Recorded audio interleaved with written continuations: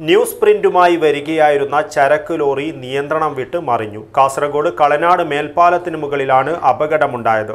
ഡ്രൈവർക്കും ക്ലീനർക്കും പരിക്കേറ്റു.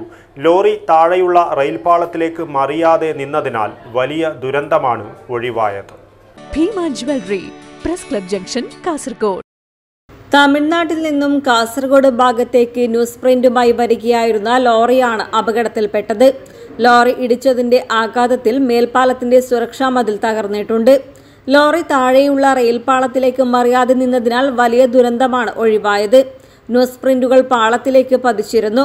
അപകടത്തെ തുടർന്ന് കെ എസ് ടി പി പാതയിൽ ഗതാഗത തടസ്സമുണ്ടായി. പോലീസും നാട്ടുകാരും ചേർന്ന് വാഹനങ്ങളെ നിയന്ത്രിച്ചാണ് ഗതാഗത തടസ്സം ഒഴിവാക്കിയത്. പിന്നീട് ക്രെയിൻ ഉപയോഗിച്ച് ചരക്ക് ലോറി നീക്കി. News bureau Kasaragod.